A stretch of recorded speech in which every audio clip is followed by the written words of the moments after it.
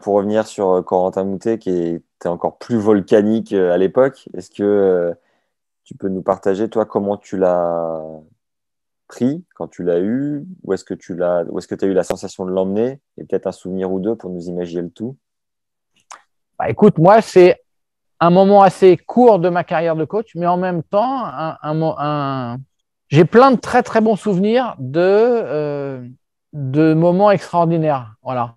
En fait, euh, le premier, c'est notre rencontre. C'est-à-dire que Thierry euh, nous, invite, c'était, la veille de Roland Garros Junior. Euh, Co est junior première année ou deuxième année? Première année. Et on se retrouve au CNE avec Co, Thierry Tulane et moi. Et donc, moi, mon job, c'est, de poser des questions. le job de Co, c'est, d'en poser aussi. C'est de voir si ça va coller, tout simplement. Puis à un moment donné, ça fait deux heures et demie qu'on y est. Et là, Thierry se lève et dit Bon, bah, les gars, on se retrouve demain. Euh, et puis après, je dis à Co, je dis Il était, je ne sais pas quelle heure, il était 18 heures. Tu vois, on est tous les deux au CNE et on, va dans la salle d'époxy. Tu vois, tu vois ce que c'est C'est une salle, tu peux mettre euh, de l'altitude, tu peux mettre de, l'oxygène, etc. Pour, pour faire croire que tu es en altitude. Bref, on va dans cette salle-là. Et puis, je ne sais plus pourquoi, je sais, soit on fait une séance de sophro, soit Co, il s'allonge et on travaille de la respiration, un truc comme ça. Et on se connaissait à peine avec Co, toi. Ça faisait euh, trois heures qu'on était euh, en train de, discuter ensemble. Et puis tout d'un coup, il se lève, il me dit Ronan, j'ai une idée. Donc il a Roland Garros junior sur terre le lendemain. Hein. On est au CNE sur dur. Il me dit, moi, ça fait je ne sais pas combien de temps que je n'ai pas touché une raquette. Il me dit, écoute, on va faire un match ensemble et je t'explique les règles. Et là, je me dis, mais où on est. On est tous les deux au CNE, il n'y a plus personne. Puis il me dit, bouge pas, euh, je vais, je sais pas, aux toilettes. Et puis il voit un jeune black qui s'entraîne à l'époque à, il va peut-être se reconnaître, il s'entraîne à Poitiers. Et il est là, je sais pas ce qu'il branle le mec, mais il est là.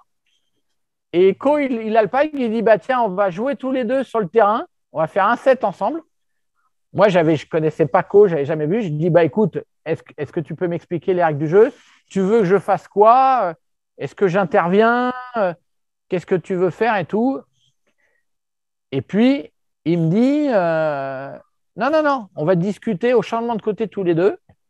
Et puis, je veux, euh, je veux me lâcher. Et puis, il fait son set comme ça. Et puis, à la fin, il me dit Bon, bah voilà, on se retrouve demain à Roland.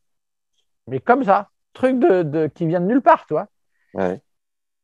Et puis, euh, il commence et l'échauffement, il met une balle euh, sur le périph' au bout de deux minutes. je dis, bon, ben, voilà, on y est.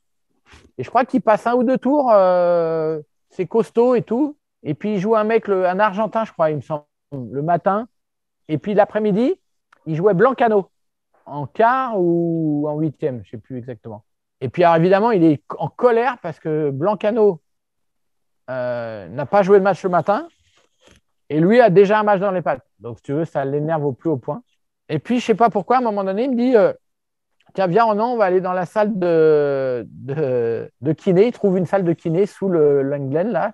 Et puis, il me dit euh, Bah, tiens, on va s'installer là pour discuter et tout. Puis, on discute. Puis, à un moment donné, je ne sais plus pourquoi, on en arrive à, à, dire, parler de la respiration. il me dit on va, ouais, on va, je vais faire de la respiration. Je lui dis, tu veux qu'on éteigne la lumière? Il me dit oui. Donc, nous voilà dans la salle. Lui, il est allongé sur la table. Il fait de la respiration. Et puis, tout d'un coup, il se. Il me dit, c'est bon. Hyper calme. Et là, il démarre le match contre Geoffroy en, trombe. Je plus, il, met, il mène 4-1 en deux secondes et demie. Et, voilà. Et c'était avec Co, ça a été magique. Et Co, il passait un tour en futur à ce moment-là. Et, et à un moment, il part tout seul à l'autre bout de, la Russie ou je ne sais plus où. Euh, bon, bref, il part faire deux tournois et il part tout seul à 17 ans faire le premier et il gagne le futur. Donc on s'appelle, on s'envoie des messages et tout avant la finale. Il me dit alors, euh, qu'est-ce qu'il faut que je fasse et tout? On rigole. Parce qu'en fait, moi, je ne lui donnais jamais de conseils. Et il gagne le tournoi et après Thierry va le rejoindre et il gagne le deuxième, deuxième futur. Donc en fait, il s'envoie deux futurs en deux semaines alors que jusqu'à présent, il passait un tour. Voilà, donc là, c'est magique. Roland te livre les clés de sa pédagogie Soyez Pro, qui font son succès depuis 30 ans, dans une masterclass de plus d'une heure qui est en lien dans la description juste en dessous. Il te guide pour mettre en place les 5 piliers de la performance que sont le calme, le détachement, la gestion des émotions, l'estime de soi, le tout pour accéder à ce que Ronan appelle le nectar de la concentration. Tu vas apprendre à dresser ton cerveau, le tout imagé d'anecdotes de matchs et de cas concrets avec Steph Robert, son poulain de l'époque. T'as la bande-annonce de secours avec le prépa mental Ronan l'a fait juste en dessous.